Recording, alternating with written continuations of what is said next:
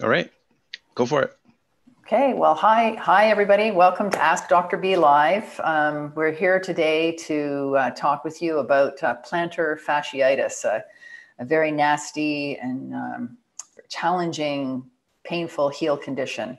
Um, today, it's uh, myself and Yusuf. I'm very grateful to have Yusuf here to uh, keep control of the chat line. Um, Eric is uh, heading up to the Great White North to escape the heat in, in his little office there. He's been cooking for the week and um, very excited with the release of uh, ROM Coach app, uh, which we're going to talk about a little later. Um, but today, the format will basically be uh, similar to what we uh, always do. Um, I'm going to share a presentation. Uh, sorry, just having a little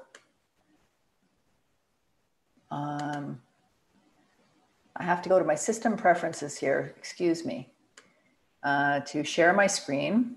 And what we're going to do is uh, have our presentation and then um, we will be open for questions. Okay, let's see if I've got this going. Share screen. Yes. So I'm looking forward to um, any questions that you may be um, uh, that you may have. Please uh, put them in the chat, and Yusuf will uh, read them out for us.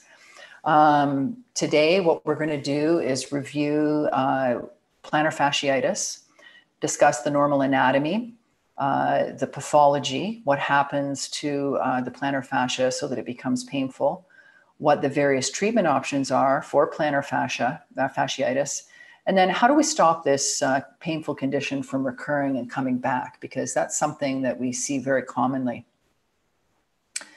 Uh, but before we get going specifically on plantar fasciitis, I wanted to just remind you of my view of what fascia actually is. Um, 30 years or more ago, when I first started medical school, we um, we had to take an anatomy course in first year, and we would go down to the dissection lab, and we actually had to um, dissect all of the internal organs and the muscles. And as part of this, uh, we would remove fascia to expose the muscles, the bones, and the internal organs. And at that time, the body was viewed as 206 bones, which we layered the muscles on top of, and we plugged the internal organs into the various cavities the chest, the skull, the uh, abdomen, and then we covered it all up in skin. And that was the human body. But as I got working, and particularly in surgery, and I saw the connections more intimately with um, how the tendons, the, the joints, the capsules uh, all blended together um, and and how I uh, realized that the body remodeled and and how forces affected the tissues. Um, I started to look at the musculoskeletal system as a fascial network. And when you think about how the body develops right from the embryonic phase, the um, embryo is made of three germ layers, and the one germ layer, layer called mesoderm that creates all of our bones, joints, and our muscles um, actually makes the shape of the body. So we have the shape of the body from that is created from mesoderm, and then the internal organs come from endo and ectoderm, and they grow inside this mesodermal um, network. So every single cell in our body is really connected from the tip of the toes to the tip of the nose uh, and surrounded by fascia. And the fascia serves several functions. Um, it can be thick and broad, like the plantar fascia, or it can be more um, delicate, but basically it's a communicator. And um, it's communicating where our body is positioned in space, it's communicating how much tension and force is going through the tissues. So um, the plantar fascia is one of these broad based uh, um, structures. And here we see on the bottom of the foot, this is the big toe, this is the baby toe, and then this is the heel. And you can see how it forms a triangle. And this is the plantar fascia. You can see the insertion that is on the heel or the calcaneus. and how the fascia then fans out to each of the toes. So it's a very stiff, thick, collagenous structure that is meant to bear force. I put this picture on because I want you to see all of the little tiny muscles that are in the foot. There's 20, I think there's 20, over 20 little muscles that are in the foot. And they are very important in working with the static um, physical structure of the plantar fascia uh, by dynamically supporting our foot and our arch. So if we look at the plantar fascia from the side, you can see here, this is the heel bone or the calcaneus, and then these are our toes.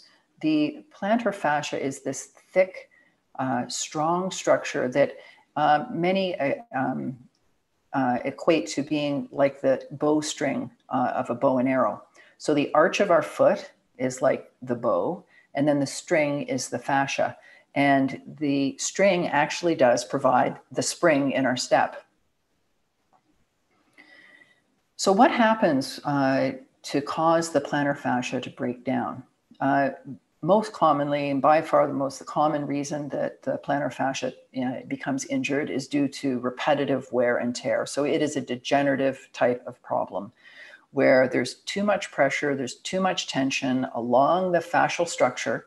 So, that's the, the fascia itself. But then that fascia may continue also up the back of the body to involve the calf muscles and um, even up the up the leg. So if you have tension along that rope, um, it ends up um, where there's too much tension and it becomes tight. Then the plantar fascia can break down and tear, and it tends to tear right at the insertion. So this is looking at the plantar fascia. The foot's pointing the other way this time, but we have the heel, we have the toes. Here's the plantar fascia, and there's a, a, very specific spot that the plantar fascia um, breaks down, and that's right at the insertion. And as usual, with all of our wear and tear um, pathologies, there's a spectrum of wear and tear that goes from sort of an internal change in the micro uh, structure of the collagen and the proteoglycans that form the fascia to partial thickness tearing, where you have injury and repair uh, going on uh, all the way to a full thickness tear. Now, full thickness tearing of the plantar fascia is actually quite rare. Um, it can happen. You can imagine if you have a significant tear and that rope in the previous picture, if you pulled on it too hard, how it could snap. Um, although it's extremely painful in many ways, you've actually treated yourself because you've lengthened now the plantar fascia and it will heal. It's not going to be something that you need to have surgery for. Um, and it's not fun. And I don't recommend going and trying to land on your plantar fascia and tearing it completely. Um, but most commonly, it's a partial uh, thickness tear of the insertion of the uh, fascial structure. And um, the reason that it becomes overloaded is um, because is that you've lost your foundation for movement. So um, we look at the alignment of the foot and um, really Plantar, plantar fasciitis can occur with almost any alignment. It does tend to occur more frequently in people with pronated flat feet, but um, it can occur with almost any type of alignment. Um, we have to look at the balance and the mobility of all the little joints in the foot and the ankle area. There are actually 33 joints in the foot. And sometimes these little midfoot joints uh, get stuck and they don't move, or the the joint between the calcaneus and the ankle, the subtalar joint, if that joint gets stiff, then more stress and more force goes on the plantar fascia itself. And also, and probably one of the most common reasons for developing plantar fasciitis is that the little muscles in the feet go to sleep. And that's because we put our feet into shoes every day. And though it's like, to me, it's like putting your foot in a coffin. The, the, the muscles don't have to do anything they become atrophied, they don't work, and um, then they do not support the arch. So in that original picture, when I was showing you the static structure of the plantar fascia and then all those little muscles, you have the static stabilizing um, function that the fascia provides for your arch and the dynamic stabilizing function that the muscles provide. And when those little muscles go to sleep, then the static structure, your plantar fascia, has to do all the work and it can become overloaded and break down. So it's the ABCs, alignment, balance, and correct uh, muscles firing that we need to look at to, to figure out why the plantar fascia has broken down. And if we understand how it breaks down, then we know how to fix it. Now, clinically, when somebody comes into my office, um, the most common uh, complaint is pain, and it's pain that's right at the heel, right where the plantar fascia inserts. And it's usually a little bit more towards the inside, towards the big toe side of your foot. Um, and it's exquisitely tender when you touch it. It's usually um, very difficult to step on your foot first thing in the morning. Uh, and as you get up and you get moving and, and things kind of warm up and loosen up, um, it may actually feel better. Uh, but over time, the pain will get progressively worse. So it may start out as a mild ache and you'd really ignore it and you don't do much for it. But then over time, you notice that it's getting progressively worse. And then it gets eventually to a point where you have trouble walking and you limp and um, you have a hard time standing and, and, and walking. Uh, people who are standing uh, on hard surfaces, concrete floors, or uh, moving and playing on hard surfaces such as ten- hard court tennis courts or um, uh, basketball courts. Uh, people that do a lot of running on pavement uh, are particularly prone to uh, developing plantar fasciitis. And from a physical exam standpoint, um, what we really look for is that point tenderness on the heel, right in this red spot here. Um, if we find tenderness elsewhere, so it's more up on the bone on the sides of your heel. Um, I think about uh, calcaneal stress fractures, or if the tenderness is more in the midfoot, around the navicular, or even more uh, in the forefoot, you could have a different stress fracture, either a navicular or a second metatarsal.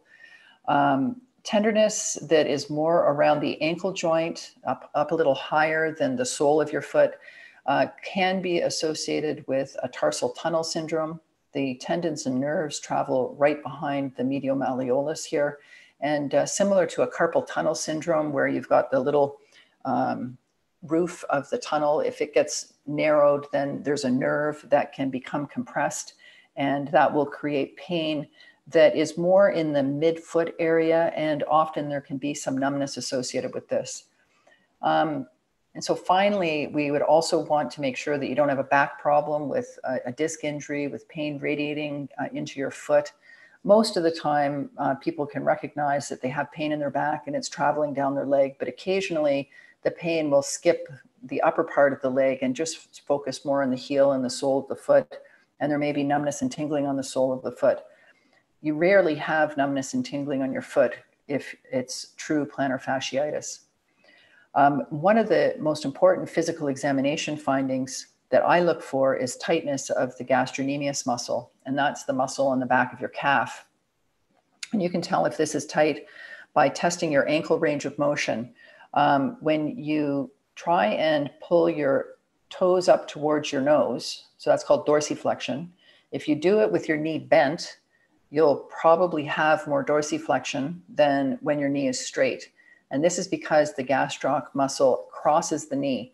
So if you find that your ankle dorsiflexion is um, worse with your knee straight than when your knee is bent, you do have some gastrocnemius tightness, and that can lead to increased stress on the plantar fascia and breakdown. And that's probably, besides the tenderness directly over the plantar fascia insertion, it's probably the most common finding that uh, we see in the office. Um, as far as in, I, I, didn't really mention investigations. You know, when you go to the doctor, we do a history, we do a physical exam, and then we do investigations to try and um, prove what our diagnosis is. Um, it's rare that you really need to have investigations for uh, plantar fasciitis. And very commonly, people will get an x ray and they'll be diagnosed with a calcaneal spur. Um, I'll talk to you about that in a minute and show an x-ray. Uh, I'm not a big believer in dealing with the spur. I think the spur is, a, is as a result of the increased stress on the calcaneus and is not the cause of the plantar fasciitis. So we think about the four R's. That's relaxing the tissues, restoring correct mobility and strength, resetting the correct muscle and movement patterns, and then reprogramming everything. So when we look at the traditional treatments, uh, such as um, ultrasound or laser over the plantar fascia itself, this can be beneficial to decrease any inflammation that's associated with the partial thickness tear of the fascia. Um, it can help to restore pliability to the tissue. And really, that's one of the key things in the initial stages of this problem. It's restoring pliability and elasticity to the fascia so that when you take a step onto the tissue, it doesn't just pull right off of the bone and re injure your healing tissue. So, I think that there is a role uh, for some laser uh, or ultrasound um, in your foot if, if um, you have access to it, but I don't think it's an absolute necessity. Um, also, it's critical that you would work the calf uh, so that you loosen the, the calf muscle because you want to relieve the tension on the, the, if you visualize the rope, you want to relieve the tension on both sides of the rope so that the area that needs to heal can, um, can heal without being overloaded. Uh, shockwave therapy, I don't really think there's much role for shockwave therapy in plantar fasciitis treatment. Um, the, the premise here is that you're going to blast away that spur and um, then allow the tissue to heal. Um, I, I, I, know that the studies basically that look at shockwave therapy um, may show some benefit around the year mark um, and then it's, but at 36 months out, there's really no difference in any of the treatments that are compared, such as uh, injections. And in my mind, after 36 months, probably the body just healed itself anyway. So you really can't tell whether it was the shockwave therapy or just your body's natural uh, healing capabilities. There are a number of different injections. Uh, cortisone is something uh, that can be very beneficial in decreasing inflammation in the short term. Say in the first two or three months, it'll decrease pain. Um, it is a very painful, nasty injection. Um, but I and I caution you about having too many of these because one of the side effects is atrophy of the fat pad on your heel. And if that fat pad on your heel um, shrinks and disappears, you can end up with a worse condition than the plantar fascia. So um, I would encourage you to exhaust all of the other things that we're going to talk about in a moment before you uh, rush to have cortisone injections. Um, injections such as PRP, that's platelet rich plasma, uh, stem cells, um, have some, I think, potential benefit for regeneration of and healing. Um, the studies aren't really um, uh, they're not really convincing to me. Again, at, at sort of 12 to um, 18 months out, it shows a difference between somebody who's had the PRP injection, but at 36 months, there's no difference between someone with the injection and uh, patients with shockwave treatment or no treatment. So uh, I'm not a huge proponent of these uh, therapies, although um, the initial um, treatment of ultrasound modalities to improve tissue pliability, I think is a very good principle. Um, orthotics um, are something that you could possibly use temporarily um, to maintain the arch of your foot. But this is a static uh, or, or uh, yeah, a static way of regaining your arch. And um, really, I'm a huge proponent of wakening up the muscles, small muscles in your feet. And that is probably the single most important thing you can do uh, in the treatment and recovery for plantar fasciitis. And that's getting those little muscles woken up. So, using an orthotic temporarily, um, it's possible, but I would far prefer that you get your muscles woke, woken up and dynamically support your arch. And you can do it pretty quickly and you can save yourself uh, a chunk of cash. Um, compression socks uh, can provide some um, comfort. Um, the, the theory behind compression is that it takes some of the pressure off of the plantar fascia, that it may help improve blood flow. Um, if you feel better when you're wearing these, go for it. Um, night splints, so you can see this as an apparatus where it, the person is trying to pull their foot up towards their, uh, their head and keep the fascia stretched.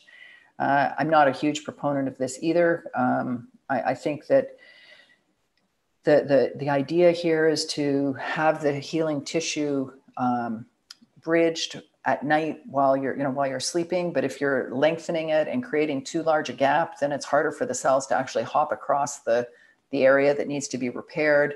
and um, I'm a bigger, big believer in using movement to heal versus these static type of modalities. They can be effective, but I'm a big believer in movement. So the four R's, that's reestablishing your foundation for movement, is the critical thing, as with all of our wear and tear injuries. So we're going to do activities to relax the plantar fascia, to relax the gastrocnemius muscle, uh, we're going to make sure that all the little joints in your foot are mobilized. Um, Eric did a, um, a, YouTube live session uh, on balance, and he taught us how to mobilize the little joints in your foot and ankle area. So I would advise you to look at that. And um, I'm going to show you uh, a couple of things for um, myofascial release in a second. Um, resetting the, the muscles uh, in the foot and ankle. Um, Eric's got some great little videos, uh, weird ankle uh, exercises, uh, looking at um, pronation, um, correcting pronation of the foot. Um, also are uh, great for resetting and restoring mobility in your foot and ankle. Um, I really like the way that Eric approaches restoring mobility in the foot and ankle uh, you know, you go most of the time, uh, people say, okay, you, you know, you're going to put your foot down and you're going to kind of reef on your ankle, keeping your knee straight to try and stretch that gastroc. And um, you're just sort of passively trying to do the stretch versus actively moving your body by pulling your toes towards your nose so that you're actively stretching the tissue at the back of your leg. Um, the active uh, mobility is far uh, more effective in this in the signals that it sends to the cells to create a lengthening response and a remodeling response versus just reefing on tissue passively uh, where you may stretch through the part of your body that you don't want to stretch. So i um, i recommend that you look at the at these videos and eventually you have to reprogram and put all of these movements together and I've, I've seen some comments that people, um, you know, they say, well, the four R's, it's kind of vague in, in what my description are. And really what I'm doing is I'm in this, in this format, or we're talking about basic principles, but what you have to do, I believe, is sort of put it all together. And I would highly recommend that you go to the lower limb control course where Eric takes you through step by step and teaches you how to move through the progression so that you're not constantly spinning your wheels. And he's very specific in, um, in, in what you need to do. Um, you may not have to go to the course if you're, if you're, um, say you're in the earliest stages of the plantar fasciitis and you don't have a lot of tissue damage uh, by just turning on the right muscles uh, and doing um, the exercises in the individual videos from the YouTube live uh, or the the um, videos that we have in the links, you, you could be fine. And that's great. We hope, you know, that this is helpful. But if you're struggling with getting over um, the problem, I suggest you go to the lower limb control and go step by step so that you not only reestablish your foundation for movement, but then it helps you to build your endurance, strength, power, and speed. There's two sort of issues where I see people with wear and tear pain. One is that you don't have a foundation for movement, and that's leading to an overload of the tissue. Um, and the second one is that you're feeling good. You know, finally your foot feels good. You've you've been working really hard at things, and now you're excited to get back to your sport. And you jump back and you play a four-hour tennis match instead of going out and just sort of gradually building the duration of time and the intensity of your activity. Or if you've been dying to, you know, get out there and run your 10K race and you're finally feeling good and you go out and you train and you run 10K instead of s- slowly building up your uh, endurance and your strength so that your body can adapt to um, the new movement uh, patterns and the tissues can continue to strengthen over time. So, uh, what did I've had plantar fasciitis and it was really miserable. Um, and I didn't know Eric at this time. And oh my gosh, I wish I did because I think I would have gotten better a lot faster uh, because of his dissociation exercises are so much more effective than the ones that I was doing. Now, the things that I did do that I've um, that worked really well for me is um, first thing in the morning, uh, I wouldn't I wouldn't just get up and stand on my foot because I the, the tissue at the especially in the earliest stages when you have a bit of inflammation the tissue is not very pliable So you put your full body weight on it, and what you do is you end up sort of tearing the regenerated tissue. That regenerated tissue takes time to mature. It takes weeks uh, and you know months to actually become normal, but you'll feel much better before months. Um, but so what I would do is I would get up and I would uh, not put a lot of weight on that my foot that was sore. I'd get over into the bathtub and I would put about two inches of water just so that my foot would be under really, really warm water, that as, as hot as I could tolerate. And then I would do um, active um, exercises to work on stretching the fascia on the bottom of my foot. So um, if you look at the weird ankle exercises and the pronation exercises that Eric has, you can do those standing at the bathtub with the really warm water, and that will help to loosen up the tissue and to fire up the little intrinsic muscles in your feet. It'll be very, very effective. Um, so you'll take uh, an extra 10 minutes in the morning to do that before you start your day. And then I would ice after activity. Um, I found icing before activity wasn't very helpful because the tissue was stiff and not pliable feeling. So the, the warmth and the heat would loosen it up. But then after activity, icing directly over the heel where the area that gets injured can help to prevent any inflammation and get you going into the recovery regeneration mode faster. Um, and the studies and literature show that um, taping your foot, so while you're in the throes of things, uh, you want to try to protect the plantar fascia. So until the muscles have become strong enough and active enough in your foot and you've corrected your movement dysfunction, you can do this uh, Dyer taping method. And um, I would suggest that you just Google Dyer taping, and there's some YouTube videos out there that will show you exactly how to do this and that will um, it's an it's a splint that will just take the pressure off of the uh, plantar fascial insertion to allow the healing um, tissue to be protected so that you don't tear it every single time you take a step. Um, you know, you can run into some problems with your skin with the tape. So, and and it, to me, this is a temporary thing that you want to use um, just while you're getting your muscles strong enough. And we can't strengthen within a day. So you're going to use it for the first maybe four to six weeks as you're getting uh, getting back to your activity or trying to maintain some activity. Um, if you do have trouble with your skin uh, in a reaction to the tape, you can use um, a mild hydrocortisone cream just to um, try to prevent uh, any response.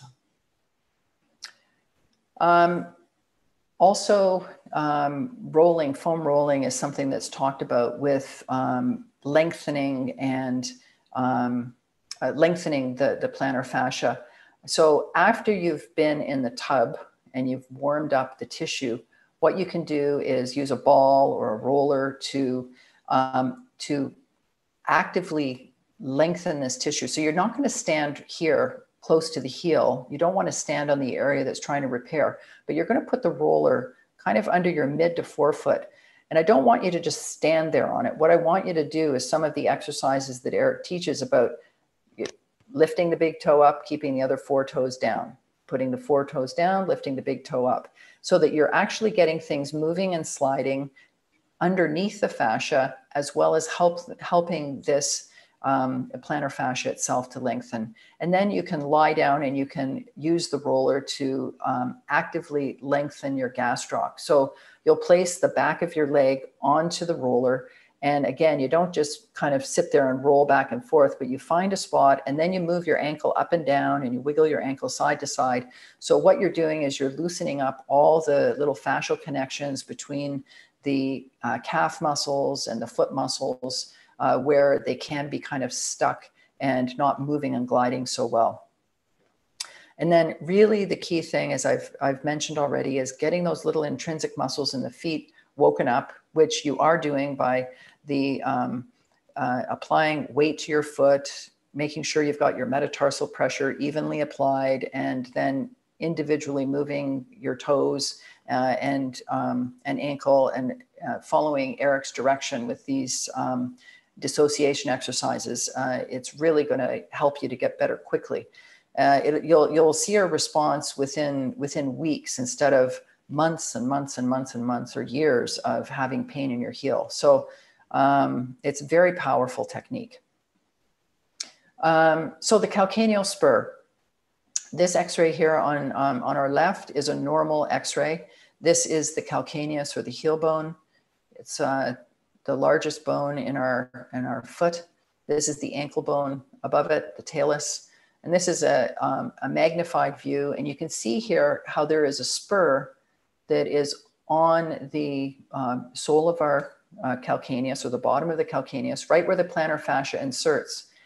And this spur has um, developed because of tension on the plantar fascia where it's constantly pulling on the bone. And as you remember, our bone responds to a stimulus. So if you are constantly pulling on the bone, our body will make more bone. And you can even see on the on the heel here where the Achilles tendon inserts, there's a little tiny spur. So this person has uh, very tight fascia all along the back of their, their leg. So they're pulling too much on the Achilles tendon, they're pulling too much on the plantar fascia, and they're making extra bone.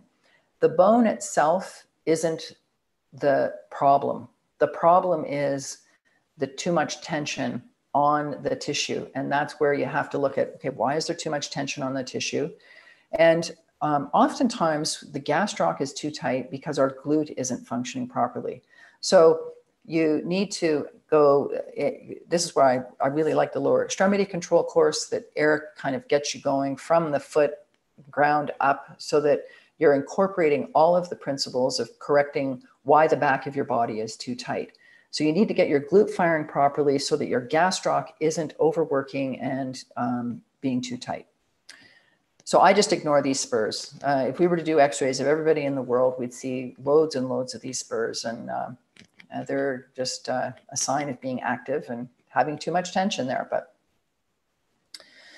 so a common question I get, and and um, a common thing that I see with people is they work so hard to get better, and they get better from their plantar fasciitis, and then they stop doing their activities that they, or not all their activities, but all of their sort of rehab type of stretching, and then their problem comes back.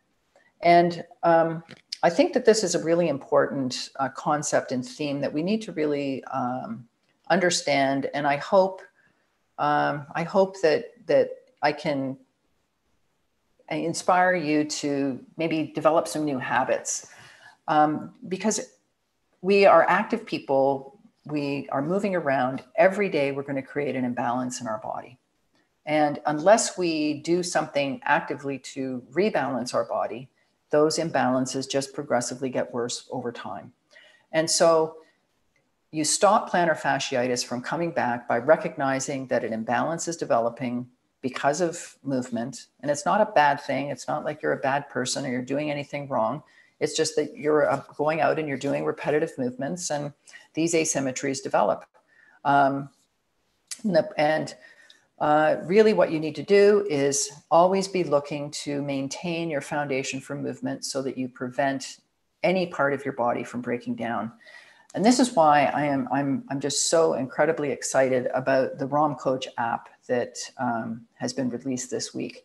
I think that this is going to be um, a revolutionary um, change uh, for people. It's going to provide an opportunity for people to easily identify where they have issues in their body. Um, for those of you who aren't familiar with the app, um, Eric has designed and developed this. He's worked really hard on it, uh, and it's just come out this week. And what you do is that you download the app, you go through a movement assessment, and you get a pass or a fail.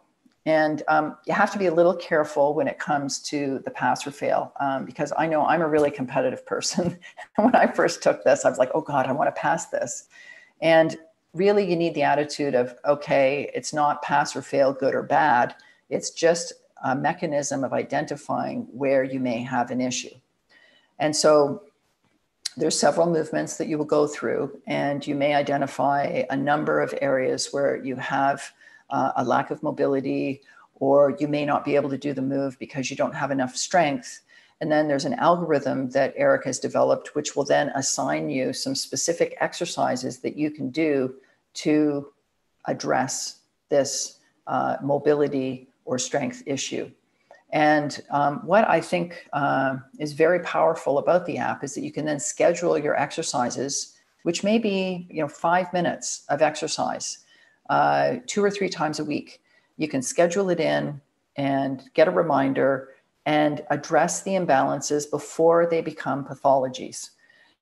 Um, so I'm really excited. I'm I'm um, I, I think this is going to be fantastic. And what I when I'm seeing patients in the clinic now, if they come in and they've got uh, say a, a, plantar fasciitis, then I would recommend as the primary um, program to deal with the plantar fasciitis as lower limb control.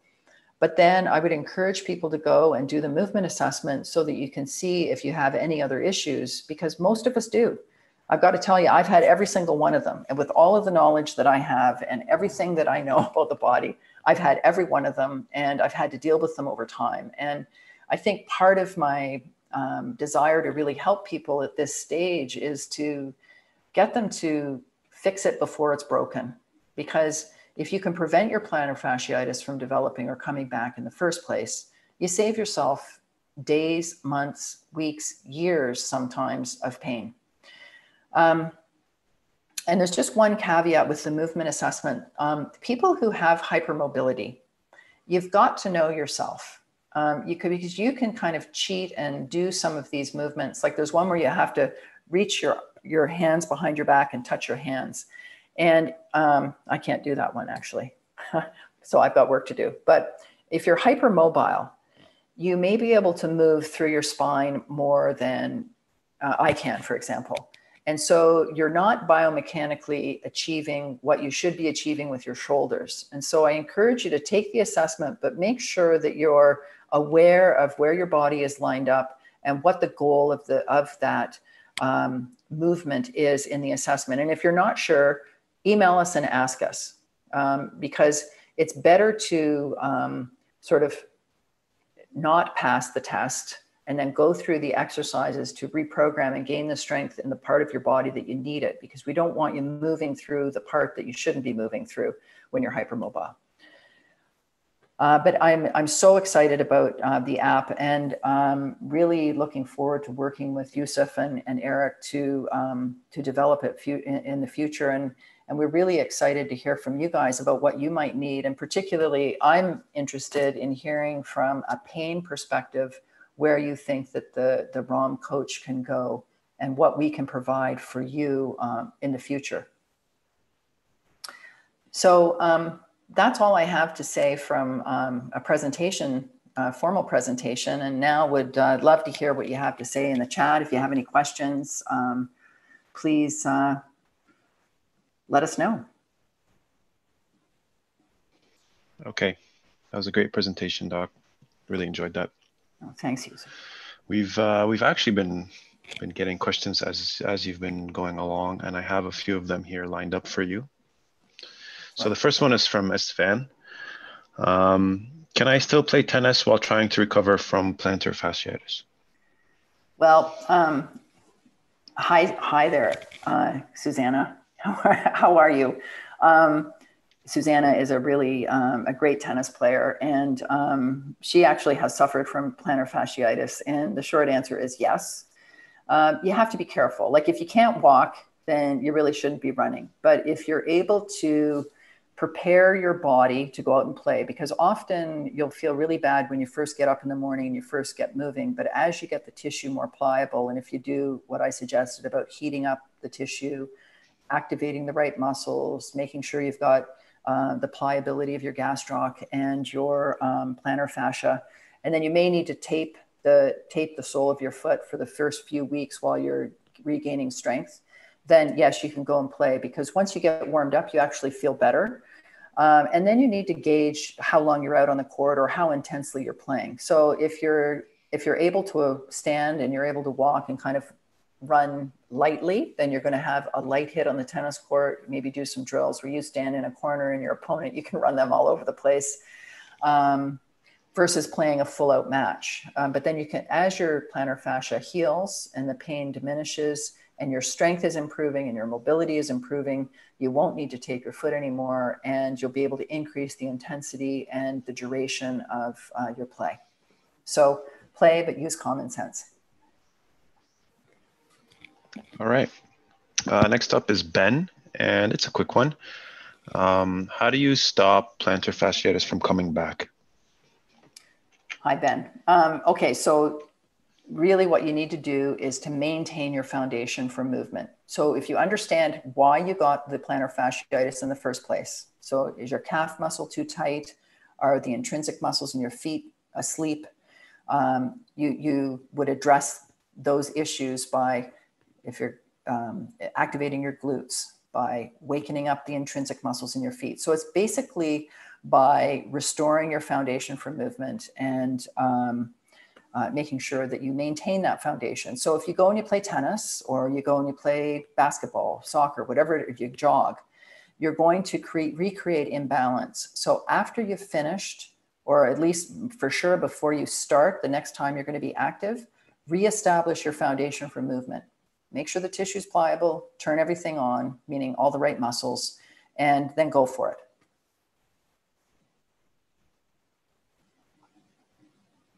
Okay. Uh, next up, we have Mitch, uh, 30 years old. How can I keep my feet healthy when I work 12 hour shifts in boots walking on concrete floor? Uh, I've had custom orthotics for years to treat plantar fasciitis, but nothing has improved. Been walking around um, on concrete for 12 years.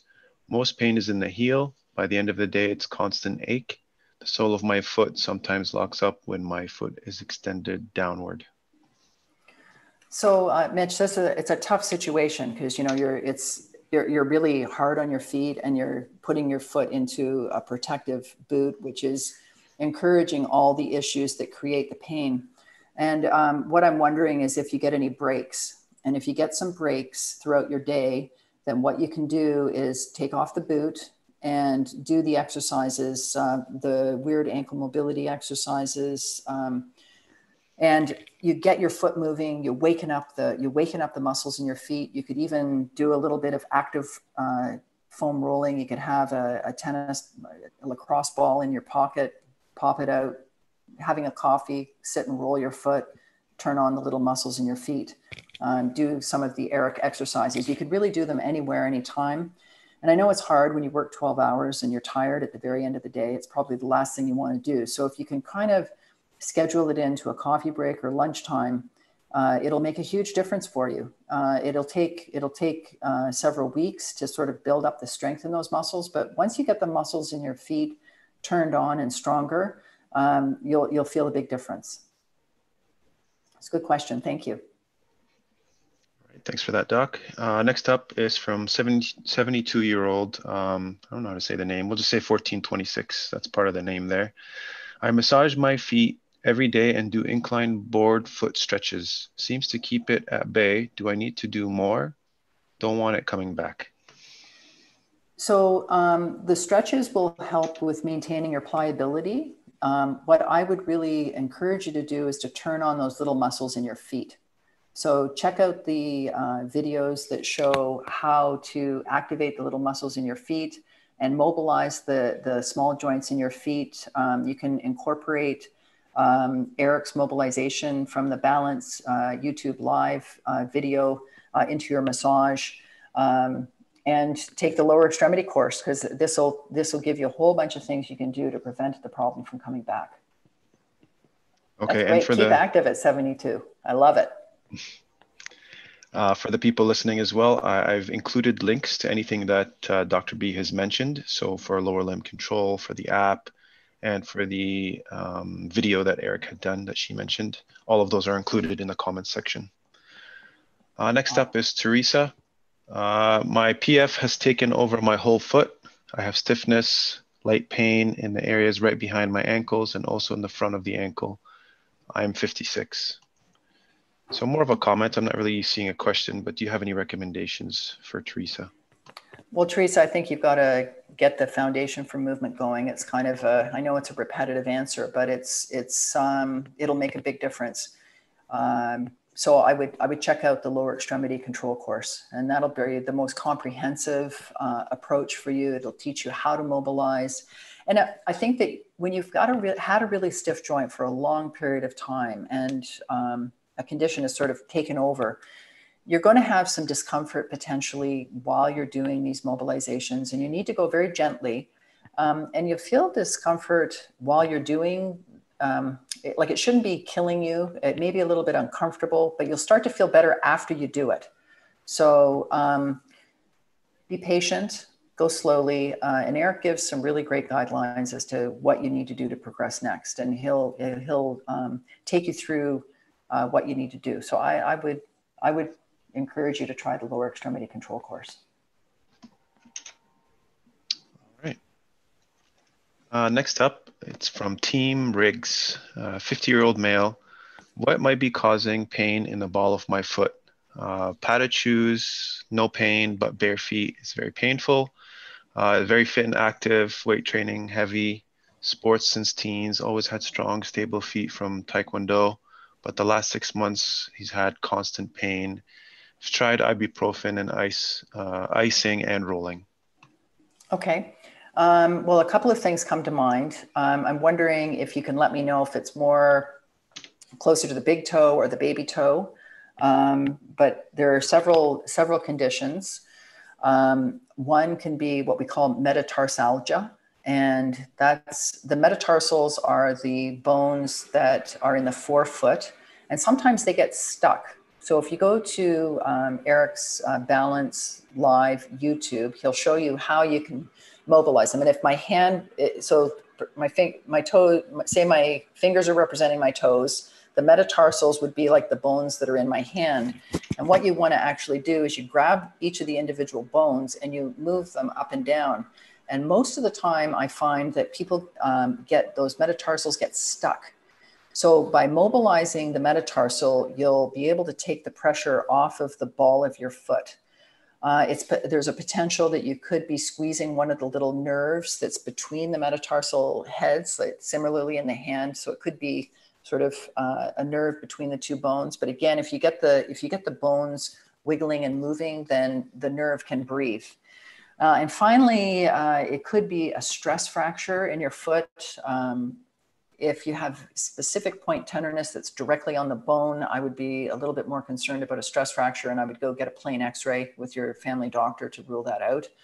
Um, but uh, it sounds to me like one of the, the uh, metatarsals isn't moving properly. And then what you need to do is go through the ankle mobility uh, and foot mobility exercises to turn the muscles on so that they can maintain the mobility of the metatarsal. Right. Great question. Thank you. Uh, next up is Jason D. Um, how much does being overweight play into plantar fasciitis? Uh, also mentioned, I have overpronation and wear orthotics that help quite a bit with that. Well, weight will play a role. Uh, two and a half times your body weight goes through your foot with every step. So if you have more weight, then it's going to put more stress on your fascia. However, having said that, um, I think the key is getting your muscles strong. I, I don't, I'm not a big person to focus on the weight. What I like to say is you got to make sure your muscles are strong enough to tolerate the load. So um, I would encourage you to strengthen the muscles in your feet so that they can be strong enough to support the weight of your body. And I think that the other thing that happens is you start exercising, being more active, um, your body remodels that your engine goes from a two cylinder engine to a six cylinder engine because you've got more muscle. And so then you don't have to focus so much on um, your weight necessarily, but of course, you want to have a good diet, eat well. Um, so strengthen the muscles in your feet. That'll be the key for you. Next up, uh, Chris Tan. It's a bit of a long, long one with a with a good comment here. So I'll start with her comment. Okay. Um, that's unrelated to the question, but Dr. B, you just called me out on the ROM coach assessment. Um, oh. I can cheat that movement, but decided to opt out of it, performing uh, that hands touching one. So I guess you've called out people that are trying to beat the assessment versus really, uh, get the movements in. Uh, her question was. Um, or his. I'm 33. I have aches in my feet, especially the right foot when I take my first step in the morning, but it's not in my heel. It's midfoot, closer to the ball, more spread out from bottom to top. Um, additional notes. Uh, this person has EDS. I'm not sure what that means. Maybe you do, Doc. Um, Ehlers-Danlos syndrome. So that's okay. hypermobility. Mm-hmm. Yes. So my ankles are very hypermobile, but I've done a lot of stability work to control them. Used to have inner knee pain, but it's better. My arches feel more present than in years. Uh, foot aches didn't start until quarantine in March when I stopped getting massages. I do have tight calves. I tried OTC orthotics and they hurt. I have LBP, had disc uh, protrusions, uh, L4 to 6 last year. And geneticists told me I have uh, papules common with EDS, but I can't see them. I'm active, had have good physiotherapy, stand barefoot a lot. Can't tell if I have PLF. So lots to digest in there. okay, well let's go to the nuts and the bolts. Um, so the bottom line is um, that you have got, you know, you have hypermobility. That your your uh, all of your joints are hypermobile. And one thing that I've noticed uh, over the years is that there's an interesting association between back pain and plantar fasciitis. Um, and and um, you really want to focus a lot on your back because the nerves that supply your feet, if those nerve roots are irritated, it makes you more susceptible to feeling the discomfort of your plantar fascia. And I think that your plantar fasciitis may not necessarily be like a, a traction one where you're um, you're pulling on it, but more of a problem that you're collapsing onto your fascia, which isn't able to um, have the tension in it to actually support your arch. And the, the bottom line is, is that you have to work as hard as you can. And it sounds like you're doing an amazing job um, at getting stronger intrinsic muscles uh, in your feet. I, um, I would recommend, these are the ugliest shoes ever but I love them. They're Vibrams, uh, the five finger toe shoes that you, the, the five, you, you, put all of your toes individually into the shoes. I actually saw Eric wearing them last, uh, was it, I think it was last week when he was demonstrating how to saw the, how to saw the piece of wood. And I said, rock on, he's got them. I wear them when I walk my dog. Um, and I think they're amazing for helping you to, um, you have a little bit of support from the shoe, but it keeps the mobility of all the little joints and allows you to keep the intrinsics functioning while you're walking. So don't you have to work your way into these things, um, but they can be a very powerful tool. So keep up all the good work. All right, I just posted the uh, a link to those specific shoes you were talking about. Okay, well, thank you. Uh, you're awesome, Yusuf. I appreciate that. Trying to keep up with you. All right. Um, from Steve, I'm 56, have some minor plantar issues. Recently running for two months, but I've had pain on the back of heel after running, which has made me stop running. Any suggestions for this pain? Thanks. So I think that it's important that um, the back of the heel, I'm not sure if that's more the Achilles tendon or back, you mean, you know, the back and bottom. But regardless of what it is, you want to make sure that your gastroc and your plantar fascia are pliable before you go out for your run. So, um, similar to what um, I discussed with Susanna going and playing tennis, I'd like you to warm up the tissue, to um, roll both your foot, your gastroc, to make sure that they're uh, loose so that you're loosening the ends of the rope to take the pressure off of the area that is painful and being overloaded then you activate all the little intrinsic muscles. So you'll do your little foot exercises to turn them on and turn your glutes on. Then go for a run, but don't go and run like uh, like a crazy man. go for a walk jog, possibly, where you may go and jog lightly for, uh, depending on how fit you are and how good you feel. Uh, you want to stop before you get pain, then walk a bit, then jog a bit, and don't go for too far the very first day or two. Just you know, go go maybe in circles also so that if you start to notice discomfort that you can be at home and you're not like 10 miles out and have to get home. And and then you're, you're basically it's like picking a scab if you go too hard too fast and you have to start all over again. So try to gauge how much you can do without becoming too sore. A little bit of discomfort is not the end of the world but so and so long as you're getting better day by day i'm happy. If you go and you do a workout and you're a little bit sore, if you feel great the next day, you can carry on. If you're feeling stiff and sore and it's worse, you need to back off on your running and um, and your activity so that you can give yourself a chance to recover. So you may have to go every other day. Uh, you may have to substitute and go uh, and do some water running and do some other cross, cross training so that you allow the tissue to heal. Uh, but I would play around with those uh, suggestions. Right. Uh, another one related to running here. Uh, my right knee hurts when I walk, but when I run, I'm perfectly okay. What can I do? um, I would run everywhere. um, it's a little hard to say, you know, depends on where it hurt, where your knee hurts. Um, is it at the front, the back, the side? Um, it's probably that something's getting tight and stiff, that when you're running, the tissues all loosen up so that the, the imbalance isn't as great. Um, but then when you stop running, something is getting tight. And so, whatever that is, it could be the IT band, it could be your quad, uh, it could be a combination of things.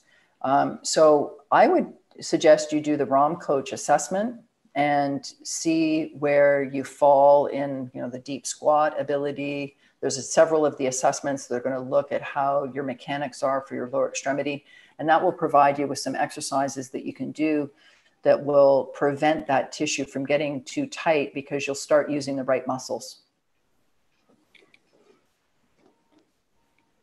okay uh, so Team Riggs seems that person has brought his wife on to ask a question. Oh, thank um, you, Team Riggs. That's for, a team. It really is a team. Yeah, it is. uh, four years of posterior leg pain, almost like cramping when laid on her back, wakes her in uh, at night. Uh, then, upon waking, makes calves and especially Achilles heels feel chronically tight. Has weak glute, med, and min, and SI area pain. She's 50 uh, has also had two kids at 39 and 40. Okay, I was going to say this sounds like a back issue to me as, it, as you started talking. Um, and so I think that you need to look at the YouTube live that Eric did a couple of weeks ago. You can review, we did some, um, the last couple of weeks we've done on Ask Dr. B, we've discussed back issues, and uh, Eric did a great YouTube live um, like I think it's the four or five essential exercises if you have back pain. And um, if you feel better doing that, I would highly recommend going into spine control because it's a it's an amazingly comprehensive program, and it's something that you should nip in the bud now. You're young, and um, you know it's frustrating when you get these pains. But the beauty is is that um, if you do if you put the work into the um, the exercises and into your body, uh, you'll get better. So um, good luck with that. All right, and the last one here is from Kat. Um, I had asked her to just clarify on some acronyms. So if you need these clarified, just let me know. Okay. I grew up walking barefoot and continue to walk barefoot and still having it. Um, I know what started this round of uh, PF. I'm S slash P OATS, and I've been on crutches for seven weeks. Um, I'm interested in new remedies to help with PF. So I need the I need this. I know what PF, PF is plantar fasciitis. Yes. Um, okay. Uh, osteochondral autograft transfer system of the medial femoral condyle, ah. microfracture of the left knee. Okay, I know what that is. Um, okay, so that's that's um, basically um, Kat's got a problem um, with her knee which is changing the way she's loading her foot. Uh, or you know, you know, it's hard to know sometimes whether what came first, the chicken or the egg. But I would imagine uh, that at this point she may maybe doesn't want to load that medial femoral condyle. That's the inside part of the knee. So oftentimes what happens is people start to load too much on the outside of the foot, and then that changes the whole mechanics of the foot. And um, I wonder if you still have pain in your knee. Um, I wonder how, you know, about the mobility in your knee. And I would be trying to address those issues as best that I um, can. Um, I would, I would recommend going into the lower extremity control course because that will help you to um, deal with the mobility issues in your feet, make sure that your foot is sitting on the ground solid. And if you find that as you start to improve the mechanics in your foot, that your knee becomes more painful, then it's likely that you still have some imbalances around your your um, your knee.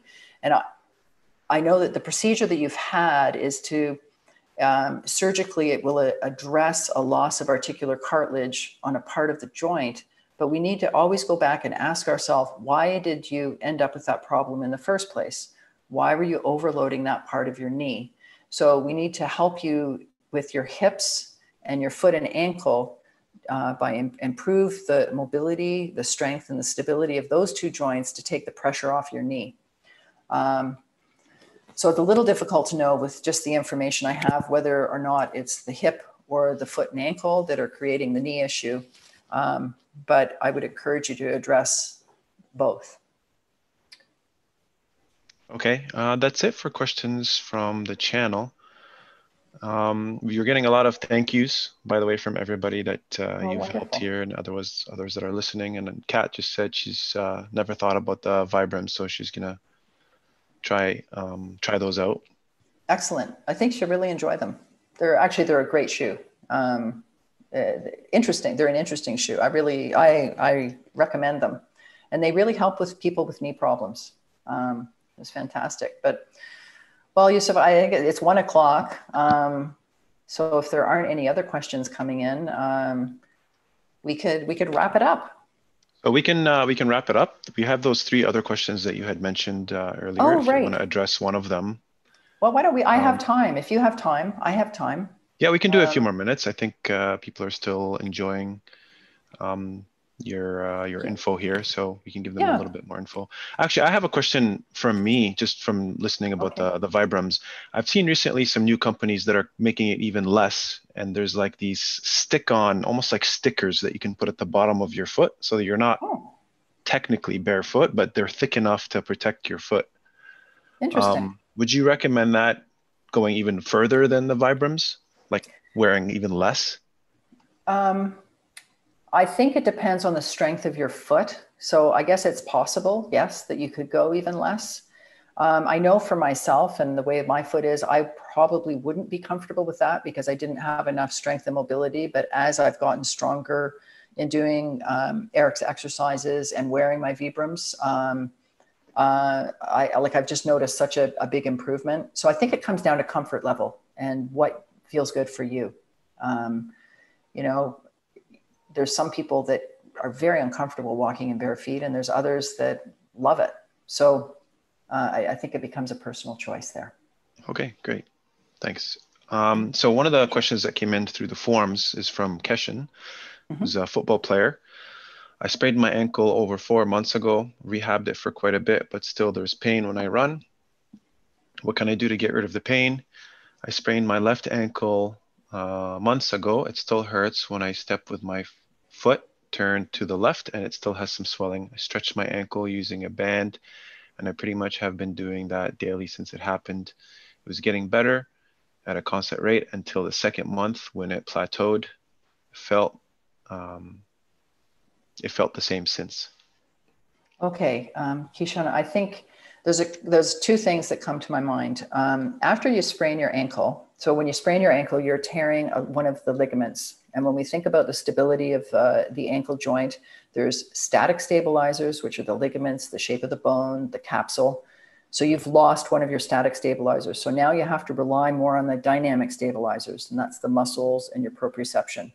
So I encourage you not only to stretch, but you need to start to activate and turn muscles on in your foot, your ankle, and your all the way up to your, your hip.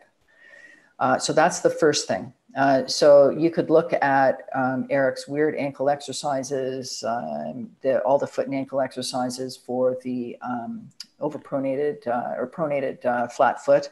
Those will help you out. I'm always a little concerned if someone sprained their ankle and they're having swelling that is inside the joint or around the joint uh, at four months. And if you haven't had an x-ray uh, for your ankle, I think you should have one. Um, and if the swelling, and it's specifically in the ankle, not necessarily from the ligament, but if it's in the joint itself, you should have an MRI. And the reason that this is, is that when you sprain your ankle, you can knock off a little bit of the articular cartilage and bone. This is called an osteochondral fragment, or you can damage the bone underneath the cartilage. And um, this can cause ongoing pain, particularly on the outside of the ankle. Uh, so you want to make sure that you don't have an osteochondral injury in addition to the ankle sprain. Because if you have that injury, you may need to modify your weight bearing activities to allow that part of the bone to heal uh, so that you don't end up with future problems. So, regardless if you have the osteochondral injury, I want you to start to work on dynamic stability, um, but go get an x ray as a minimum uh, to rule out this osteochondral uh, fracture. Great. And we've got one last one that just came in from uh, the live comments uh, from okay. Celeste. Uh, I had Celeste. PF.